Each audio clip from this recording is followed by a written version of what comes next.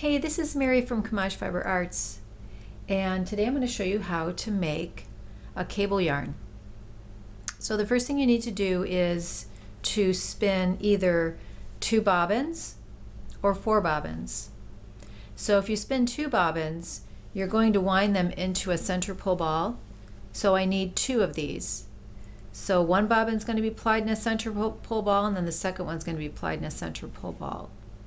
If you want it, if you don't like to um, ply from a center pull ball, you'll do four bobbins because you're going to need to ply the two bobbins together and then ply the other two bobbins together.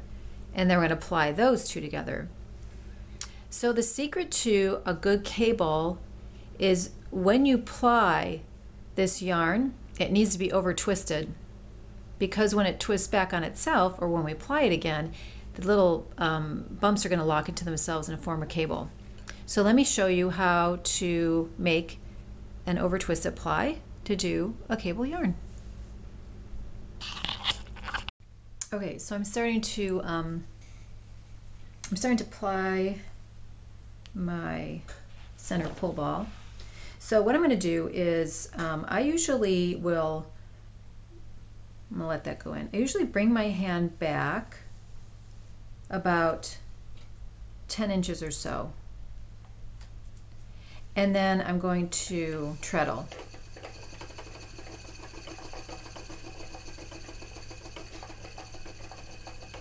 Now, I just treadled nine times and I'm going to measure the angle. And I've got about a 50 degree angle in this. Now, this is really overplied, but when I ply it back on itself, see the really pretty cable it's going to make? And to know how many times to ply is really up to you. I feel that a little bit tighter makes a, a nicer cable. I need to keep this separate so that it doesn't travel down down the uh, thing. Okay, let's do 10 more times.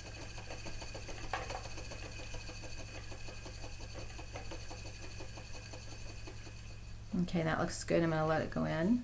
Bring it back. Now, if I stopped here, this would be, if I bring it back a little bit, that's almost a balanced um, ply. It's a little bit on the bulky side, but we need to tighten that ply up because we need to let it um, double back on itself and make a nice cable. So see how tight that is? And the fiber gets a little bit squished, but when it makes a cable, see how pretty that is? And then when you full it, it's going to get even a little bit fluffier. Seven, eight, nine, ten treadles, and I'm going to measure it. And it's about a 50 degree angle. So a 50 degree angle, according to the Eszee tool, 40 degrees and up is a high twist. We want a high twist in your two ply to make that um, cable yarn. So I'm going to ply each center pull ball with a high twist separately and then we will um, ply those together. So once I'm done, we'll come back and show you what that looks like.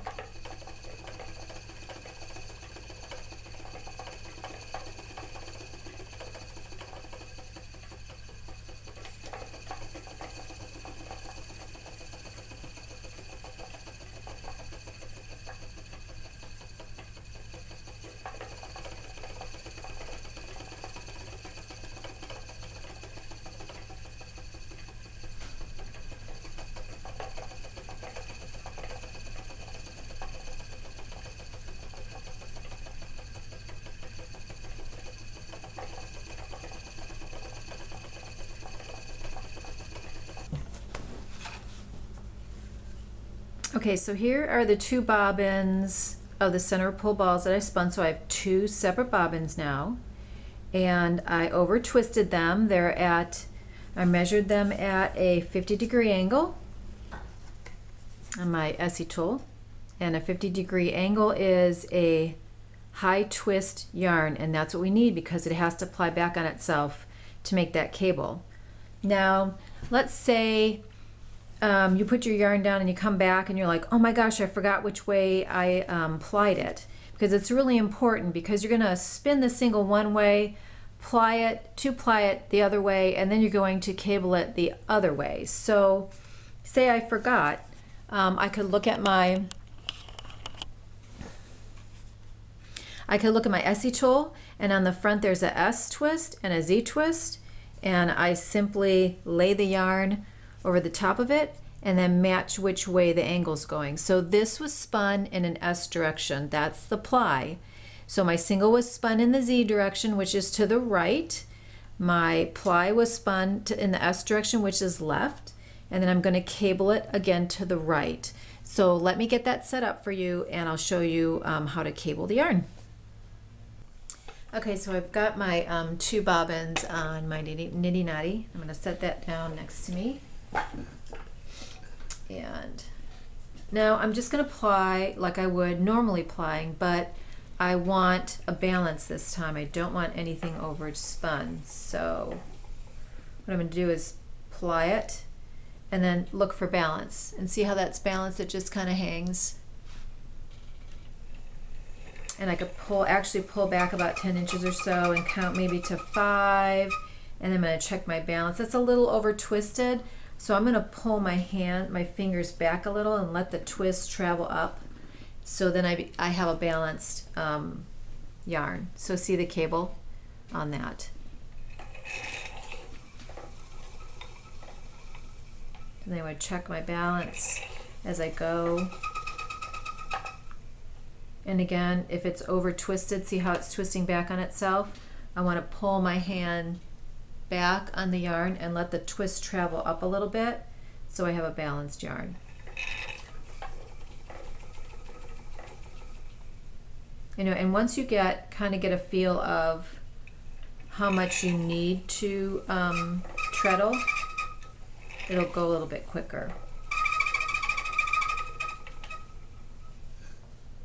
Okay, over twist it again. So let's see, let's move the camera so you can see. So I'm going to pull my hand up and let the twist travel up this way a little bit so we get more of a balanced yarn.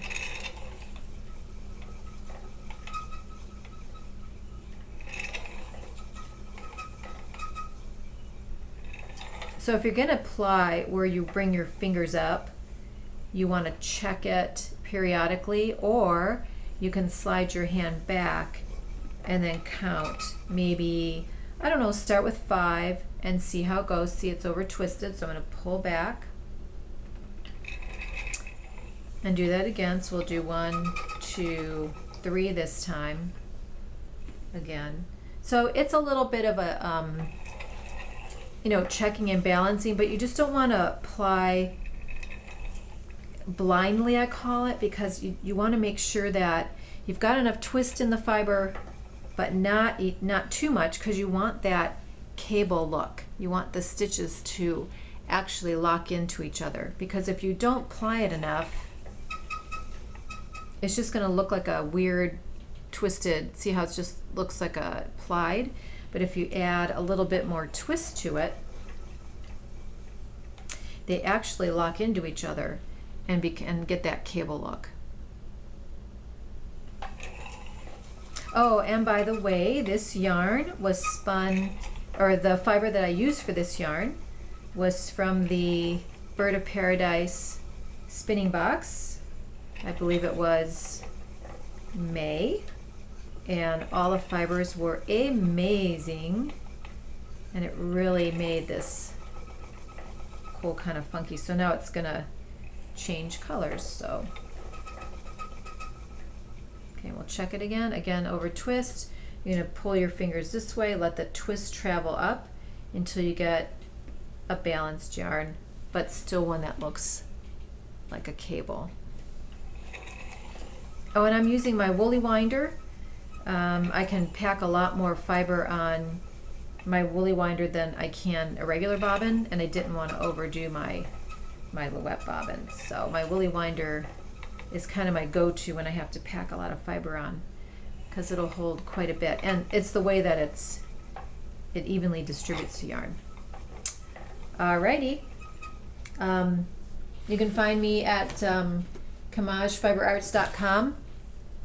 And we have the little um, tool that will um, help you spin better yarn, balanced yarn, and take you to that next level of spinning.